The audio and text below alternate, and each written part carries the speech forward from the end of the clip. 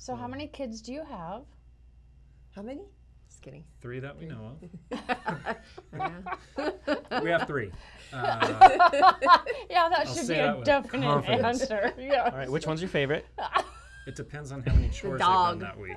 Yeah, but we always have an It's all ongoing joke. production based. We do Oh, have that joke with our it kids, is. so Oh yeah, like our daughter will like clean a bunch of stuff, and we're like, "Oh, you're the favorite." Yeah. Yeah. Until like the next one steps up, I'm like, "No, you're the favorite." But yeah, we have two boys and a girl. Girl's the youngest. She just turned 13.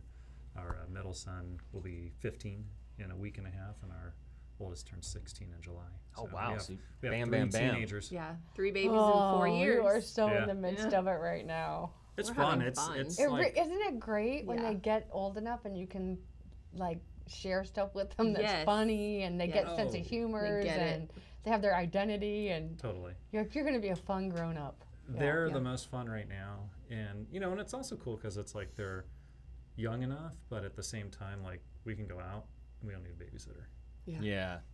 So like That's that huge. part's cool, and you know, just also things you can do with them, like whether it's conversation or whatever. It's like they're still kids, but they're small adults at Yeah. the same time. So it's They're fun. fun.